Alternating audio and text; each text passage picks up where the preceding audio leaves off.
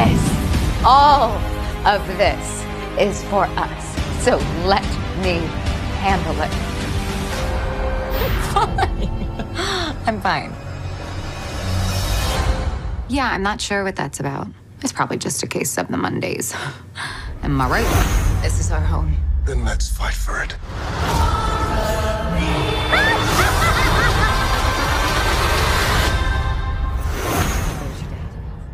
Don't sweat it, sis. It's not like your dead husband could die twice.